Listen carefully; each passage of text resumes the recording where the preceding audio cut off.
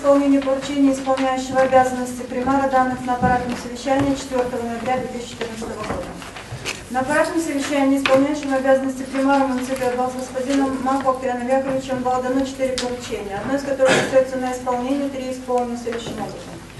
14.11.2014 года начальником отдела по связям с общественностью госпожой Черногал Анжелой Ивановной представлена информация об обращениях граждан к руководству муниципия, поступивших в 2011-2014 годы, включенных в планы работы управления отдела примарии на 2014 год и находящихся на контроле в отделе по связям. Муниципальным предприятием УКСИС ежедневно контролируется выполнение работ по реконструкции улицы Тестиницана. На всем протяжении участка произведено устройство ливневой канализации, основание дороги, армирование, установлены бордюры.